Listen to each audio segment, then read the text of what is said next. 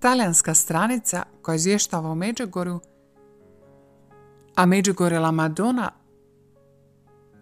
a stranicu prati više od 120 tisuća ljudi, objavila je zadivljujuću fotografiju hodočasnika, koji je fotografirao mjesto poznato kao plavi križ u Međugorju. Fotografiji kao da se vidi blažena djevica Marija, ali i Isus. Kako objavljuju fotografije nastala subotu 22. svibnja 2021. godine. Uz objavu je napisano Dobro pogledajte ove fotografije. Izgleda da nas djevica Marija čeka na brdu ukazanja kod plavog križa. Dogodilo se jučer na mjestu ukazanja. Mnogo je čudesnih fotografija iz Međugorja, ali ova je uistinu posebna. Čudo u Međugorju kuhvačeno i zabilježeno kamerom je također poruka da je gospodin s nama.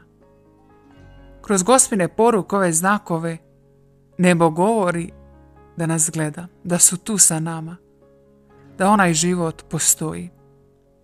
Gospene poruke pozivaju nas na molitvu i služenje gospodinu. Podsjećamo na poruku od rujna 2022. kad je gospa nas potakla da zazivamo duha svetoga, da svjedočimo Boga, da svjedočimo njegova djela u našim životima, da služimo bližnjemu, da molimo za mir, ali i da biramo mir, da budemo mirotvorci. Naš prvi susret sa Duhom Svetim jest kad nas osvjedoči o našem grijehu. Gospa kaže da se u ovo vrijeme u kojem se nalazimo i u situaciji u svijetu da se ne brinemo, nego da budemo hrabri u vjeri, da se veselimo, jer naš Bog sve što vidi i zaštitit će nas od zotone. On sve drži u svojim rukama. Zapamtite, nije vaša nevolja ono što proslavlja Boga, već vaš stav u vrijeme nevolje. Gospod poruci kaže, molite se da bi vas Duh Sveti prosvjetlio, da budete radosni bogotražitelji i svjedoci ljubavi bez granica. Ja sam s vama dječice i iznova vas sve pozivam, hrabrite se. Svjedočite dobra djela koja Bog u vama i preko vas čini. Budite radosni u Bogu. Činite dobro bližnjemu, da bi vam bilo dobro na zemlji i molite se za mir koji je ugrožen jer Sotona želi rat i nemir. Hvala vam što ste se odazvali mom pozivu.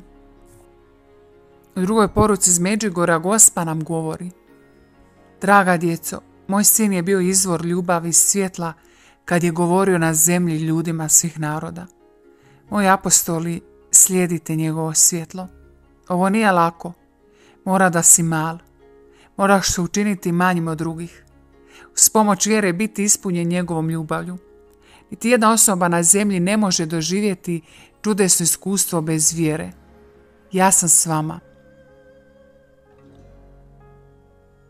Javljam vam se s ovim dolascima, ovim riječima. Želim vam svjedočiti svoj ljubav i majčinsku brigu. Djeco moja, ne gubite vrijeme postavljajući pitanja na koja nikada nećete dobiti odgovor. Na kraju vašeg putovanja na zemlji će ti Otac nebeski. Uvijek znaj, Bog sve zna. Bog sve vidi. Uvijek znaj, Bog ljubi.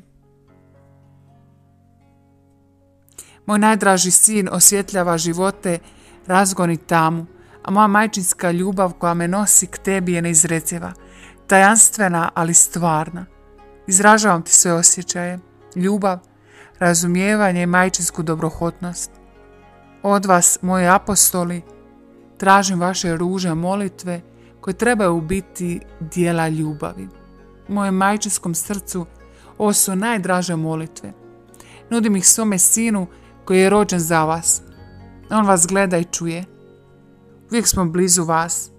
To je ljubav koja poziva, spaja, obraća, ohrabro i ispunjava. Stoga, moji apostoli, uvijek ljubite jedni druge a iznad svega ljubite moga sina. To je jedini put do spasenja, do vječnog života. Ovo je moja najdraža molitva koja ispunjava moje srce najljepšim mirisom ruža. Molite, uvijek molite za svoje pastire, da imaju snagu biti svjetlo moga sina. Hvala vam.